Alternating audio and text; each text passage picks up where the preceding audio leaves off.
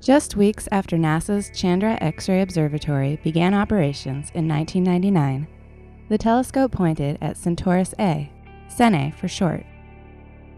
This galaxy, at a distance of about 12 million light years from Earth, contains a gargantuan jet blasting away from a central supermassive black hole. Since then, Chandra has returned its attention to this galaxy, each time gathering more data.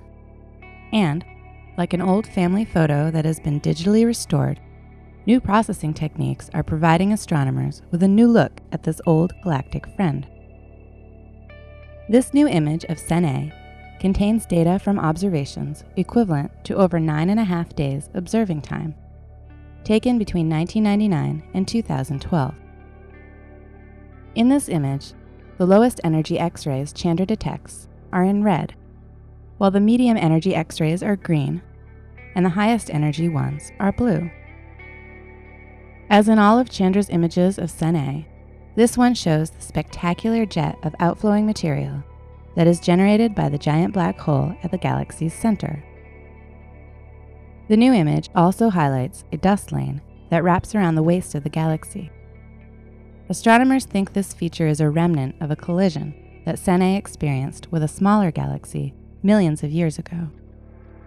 In addition to allowing for the creation of new images, the data housed in Chandra's extensive archive on Cen A provide a rich resource for a wide range of scientific investigations. For example, just last year, researchers published new findings on the point like X ray sources in Cen A. They found that these sources had masses that fell into two categories. These separate groups correspond to systems where either a neutron star or a black hole is pulling material from a companion star.